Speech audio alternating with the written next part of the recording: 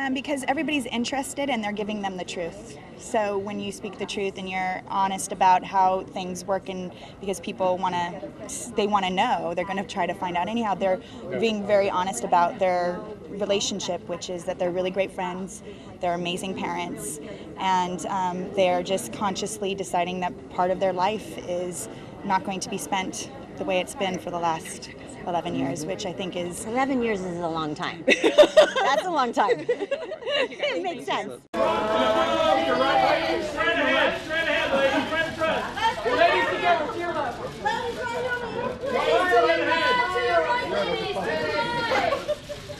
so much more fun together. so much more fun together. yes. You guys are so silly. How'd you ever get any work We done? didn't. Well, we're professionals. When we really need, we show up and we do it when we really need to. Mm-hmm. We can do it in one take if we need to. Yeah.